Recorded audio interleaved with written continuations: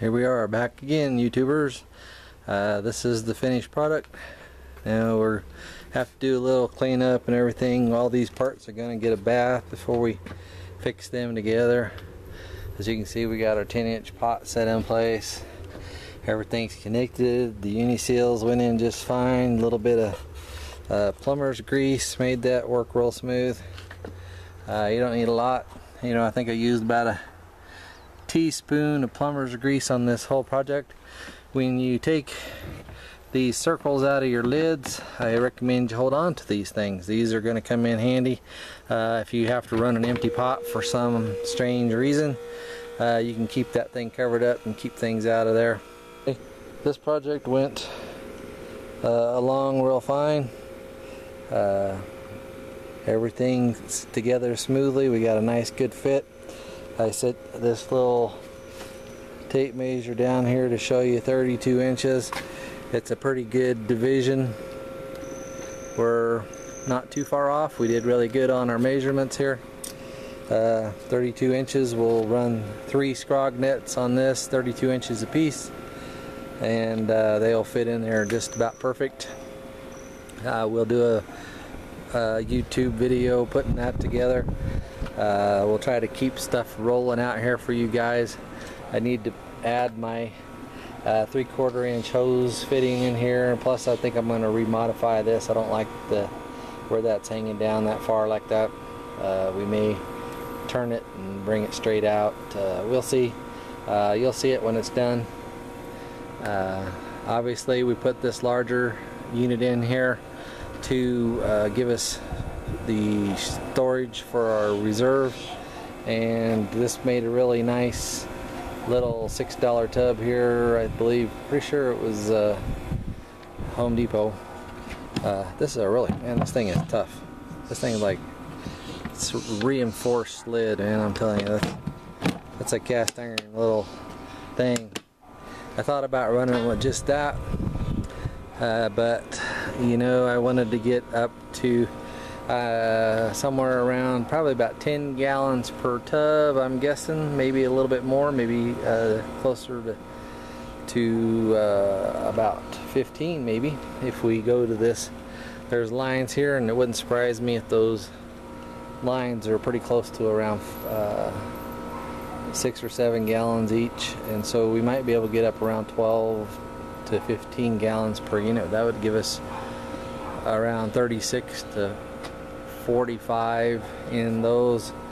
And this one I believe is pretty good size little tub here. I think it's about 10 or 12 and this one is a pretty large tub as well. So we should be getting close to our 50 or 60 gallon uh, ideal range here to give us some stuff. Uh, you know you've seen videos on how to cut circles. Uh, I just bought a really nice little unit I bought a really nice little unit at uh, Lowe's for like six or seven bucks. We have a lot of these little bugs here. He was just pestering me. That's what you see me doing. They're very pretty. They, I thought they were pine beetles, but they're actually beetles that just eat dead trees. Uh, and so, as you can see, this would come in handy to save your circles. I did save all my circles this for this one purpose. Um, a little bit of adjusting here and there to get everything leveled out. Uh, but once it's set in place we'll get her adjusted really nice. We're because of the size of our storage containers and being able to access from the front of the unit here uh, you know we want to be able to come in at the the entrance of our tents. We got two doors on there uh, where we can check one check two. And uh, so we did lose a little bit of our spacing. We may be able to adjust that forward considerably and get closer to the center on these larger uh, tubs and we'll see how that goes. Um, I spaced these about six inches apart. Uh, I may adjust that just a little bit. I, when you cut your PVC, make sure you allow some room for to make these adjustments. See, I got plenty of uh, PVC in here to adjust the, the fit. And so we will make the proper adjustments. We'll measure this way, measure that way. Uh, but like I said, everything gets a bath before it goes into the to the tent. Uh, we've been blasting the tent with ozone for a few days now. Uh, the levels are uh, extremely high in there and nothing living can survive in that type of environment. Ozone is an ex excellent uh, odor protection system.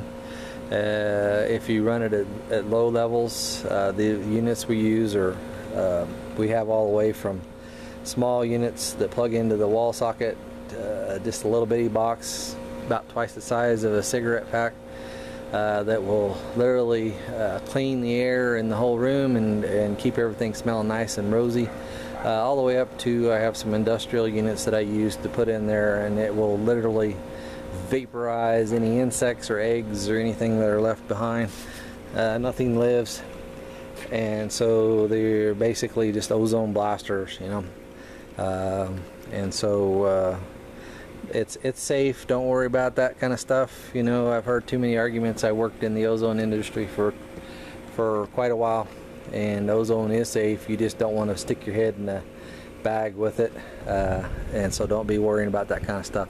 Just use a small unit that's going to uh, be big enough and only turn it up high enough to where the air starts to smell fresh and you'll be just fine.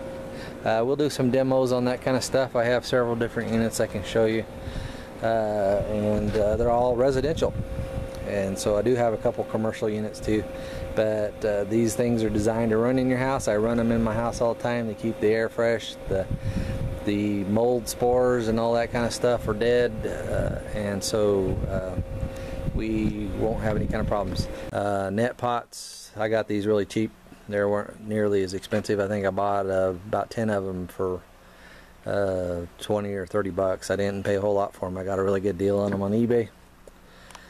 And so uh, everything fits. We got it all nice. We got everything spaced about 32 inches. We're going to put three scrog nets in here. Some of you will only want to run uh, two uh, tubs. I'm going to run three with two plants per pot. We got uh, two adults here in the house so we can have six flowers in bloom and uh, so that's not too bad. We're going to beef up the variety here. And so we'll be talking to y'all later. I'll show you this again once we get her set in the tent and put together. And so with that being said this is Johnny TH Seeds and we'll catch you on the flip side